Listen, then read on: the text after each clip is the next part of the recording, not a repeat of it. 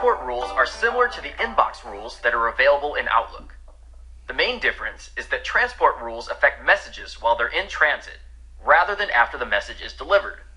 I'll show you how to create a rule to block unwanted attachments from reaching your internal mail system. Sign in to the Office 365 portal. Go to Admin. Then choose either Exchange or Exchange Online Protection, depending on what tenant you have. And click Mail Flow and Rules. You are transitioned from FOPE to EOP, you may already have some migrated rule entries. These are FOPE policy rules converted to transport rules. Click the plus symbol. You can choose one of the pre-configured rules for common actions, or you can start from scratch and create a new rule. Let's do that now. Click Create a New Rule. Click the More Options link from the New Rule dialog box to reveal the options for handling attachment types and executable content. Give the rule a name if you want, or one will be automatically generated based on the options you select. Now, click the Condition drop down to apply your new rule only to messages that are coming into your organization. Add the condition that says the sender is external slash internal and select is outside the organization.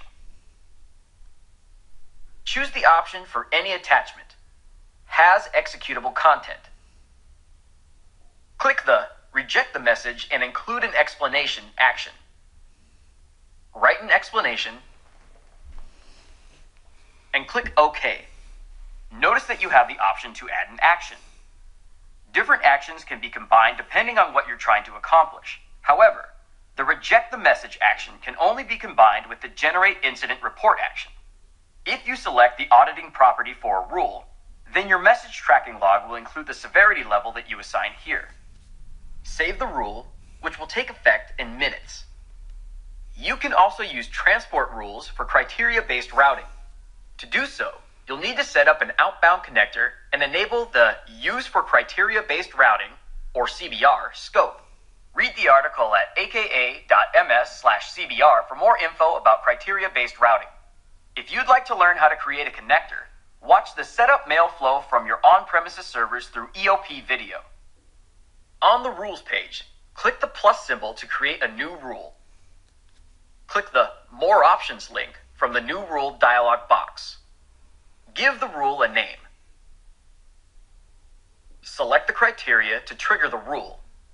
In this example, I'll select the sender is from a specific domain. Now select Redirect the message to the following outbound connector. From the pull-down menu, Select the appropriate connector to route the messages. Click OK and save.